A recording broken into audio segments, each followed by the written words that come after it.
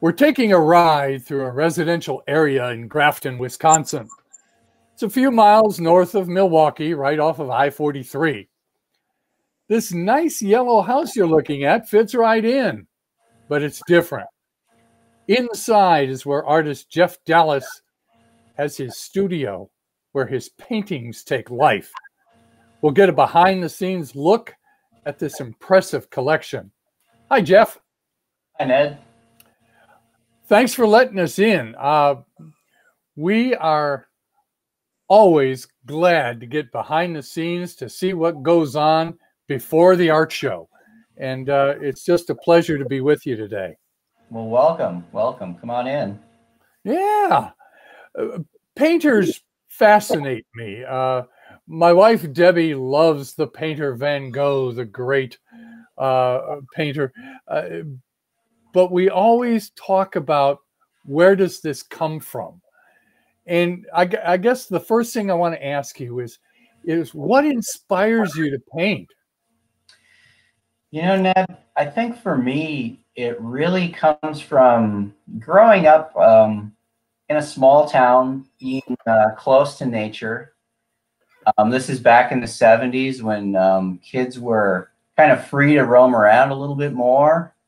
And um, I also had a father who's uh, very into hunting and fishing. So I got to spend a lot of time in the outdoors. And I think often when my dad was more into the fishing and hunting part of it, I was more into the beauty of the scenery and just really appreciating um, how powerful and like moving nature can be in its different moods. So I guess I always felt like I wanted to capture that feeling and really communicate it um, to other people in, in a really um, personal way and share that experience with someone else. Well, that intrigues me because while some painters might be very realistic in their in their interpretation of, of, of nature, uh, your paintings seem to evoke a kind of emotion so it's a feeling more than an exact representation. Yeah, I would I would say you're definitely right, and I guess that's really what I want to communicate is um, that deep connection that we all have to nature at some level, and um, share it with people. So, how long does this take for you to do? What's what's the process that you go through in creating one of your pieces? Um, so it typically starts off um, with a hike.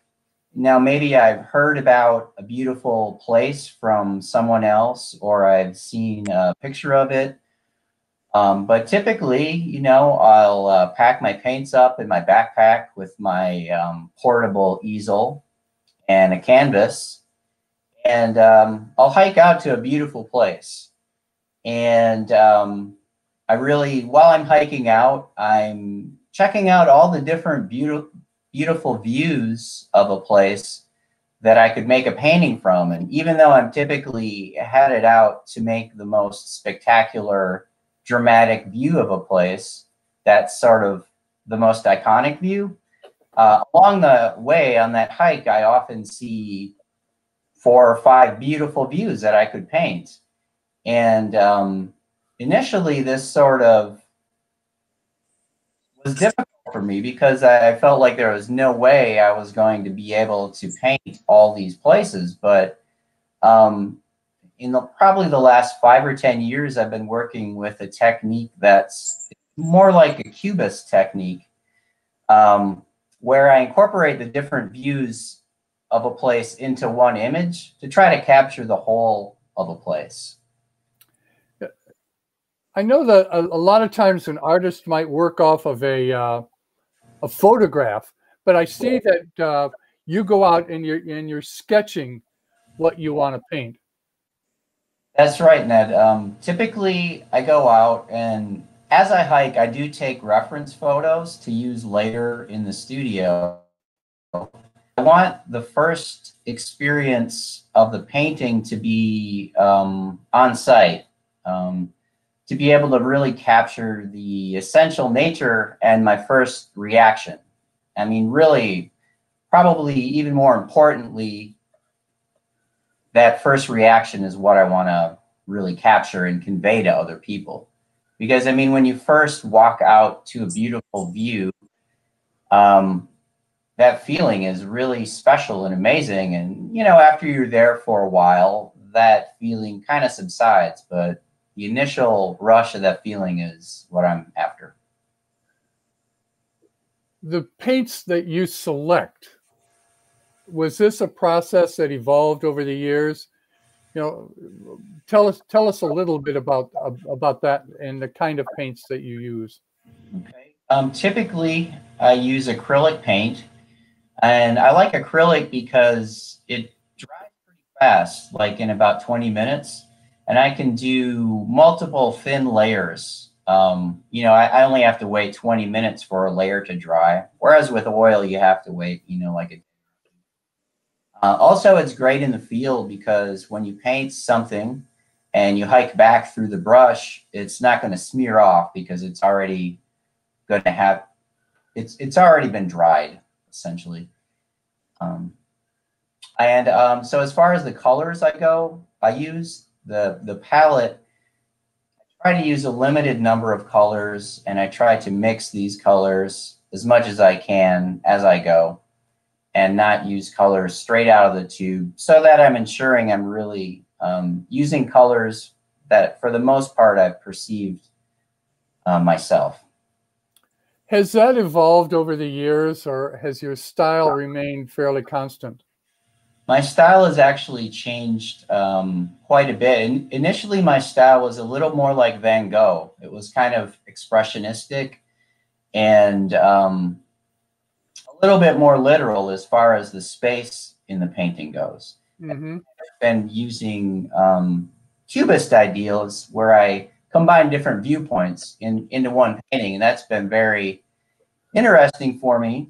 Um, and it, each painting becomes kind of a puzzle in a way because the, the angles and the viewpoints are different. And when I combine them together, I have um, lots of choices I can make that are purely artistic that I wouldn't necessarily have in a painting that I was just portraying from one point of view. What always fascinates me about artists is the is the techniques and and and brush strokes and uh, how much paint and everything and and uh, every everybody's different. Right. Yeah. It's um it's interesting how some artists are really into like heavy texture and thick paint on their paintings. And I occasionally use that in some places to emphasize something. Um, but typically, uh, my surfaces are relatively flat. But I do like to try to um, show the emotion and the feeling I'm having about a place through the through the brush strokes itself. Um, so it's you know, and to that point, it's it's always kind of a balance between trying to convey as a particular thing, like this rock has a particular shape, um, and if I use strokes that are a little too controlled, it, it uh, tends to have kind of a flat feeling, if not look. And when I approach that same rock with a looser hand and a more emotional feeling as I do it, um, I think it comes across in the brushstroke. Mm. But of course, um, it's a little bit the, the balance between the controlled and the, the loose is is a lot is really the fun of it. I I like the large canvas. Yeah, it uh, definitely gives you an opportunity to loosen up your arm and actually loosen up your paint strokes because, you know, of course, when you're working on a smaller canvas, um, you tend to make smaller uh, movements that you're pretty much doing with your hand. And when you're working on a larger canvas, you can get your whole arm and even your your shoulders and body into the movement and uh, I think it comes across to the viewer and they feel it, and they, and they can almost feel something in their body maybe when they when they see that. Here we are inside, not going to art shows because of the pandemic, and I'd like you to address that a little bit and, and your interaction with the people who appreciate and purchase your artwork. Well, it's certainly been a big shift for us. Um, Dallas, my wife, and myself, um, we make uh, almost all of our income from art fairs. So that means we're on the road, you know, um, a pretty good amount of the time, probably like about a quarter of the time. And so now, uh, for the last couple of months, we've been really home. And in a way, that's been great because it just gives you a chance to ground down more into where into your life and even into the place you live. Um, it's been good because I've had more time to paint in a way. Um, but financially, of course, it's it's been a little bit dicey. I've been fortunate in that I've sold a number of paintings since the pandemic has started. So that's been um, terrific, really. Uh, people have been very supportive. Well, we certainly do look forward to seeing you on the art show circuit. Uh, uh, you know, you've been all over the country and, and you've got fans everywhere. So, uh, but it's nice to have a few minutes with you at home, taking some time. And we appreciate the behind the scenes look, Jeff. Thank you so much, Ned. It's been uh, great talking to you.